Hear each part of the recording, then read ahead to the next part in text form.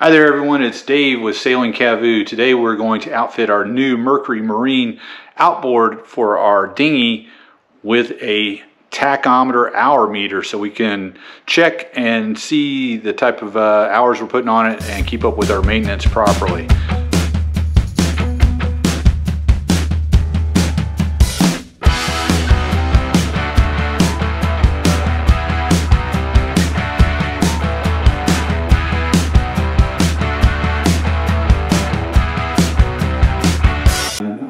Got a brand new Mercury 15 horsepower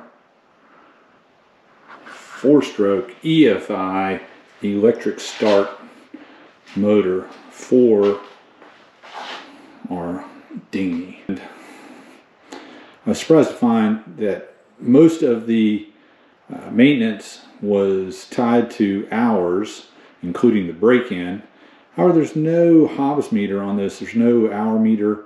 Uh, there's no tachometer. Uh, I'm, I'm, sure it's all captured in the ECU, but uh, it's not available to the user. So to make sure that we're doing maintenance on the regular schedule and, and we get all the break-in time in, I decided to add a hour meter slash tachometer to the motor. So this is what we're adding. It's the uh, it's the hardline tach and hour meter. It's for uh, two or four stroke EFI um, up to two cylinders, which is what we have. So uh, this should work just fine for what we're what we need it for.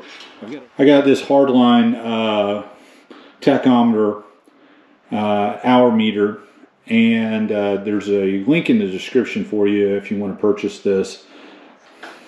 You can see that they offer some mounts for the uh, tachometer, but they're kind of pricey for what they are. And plus, I don't know if they'll work in all applications. I decided to make my own mount. Here you can see this bracket right here that I made. Uh, drill, Dremel tool, uh, vise, all, all tools you should have in your garage. What I started with was just this plate, got it from Home Depot, 70 cents. Uh, so that makes it nice and inexpensive. So I got the meter mounted on here. Uh, used a little rubber washer. Had a little rubber washer in there. You can see the bracket looks really good. Ran the wire through the existing uh, hole there where the uh, throttle cable goes through. And it's actually going to come around the engine here. And I'll attach it here to this uh, spark plug wire.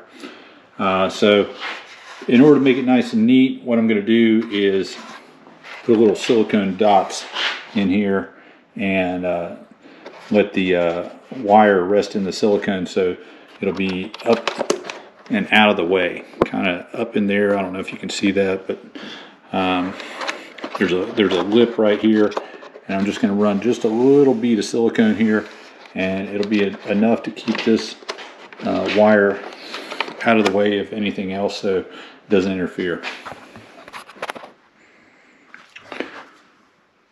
So I got the wire put in and there's a little lip underneath here. You can kind of see where it's sticking out just a little bit. But for the most part, I got it tucked into that lip. And I got these clamps on it. Hopefully, hopefully it'll hold it long enough for the uh, silicone to cure. Okay, so here you can see there where I wrapped the coil uh, around there.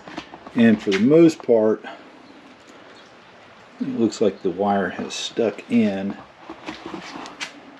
and is routed out of the way. So that all looks good.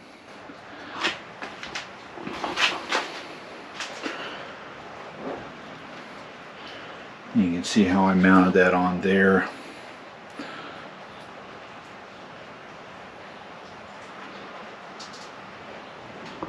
All right. So I'm going to demonstrate the tachometer. Uh, first, got to start the engine. And it pops up RPMs, which go up with the throttle. Alright, and then I hit this gray button right here. And that tells you how many hours we have on this engine, 5.4. pretty new.